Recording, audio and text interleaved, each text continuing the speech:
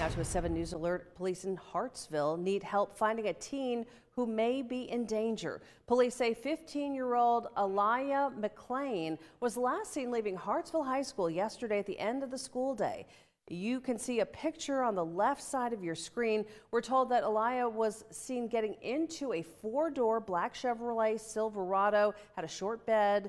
Police say Aliyah does not have extended family and may be in the Spartanburg area. If you see her or know where she may be, you're being asked to contact the police in Hartsville. The number is on your screen tonight.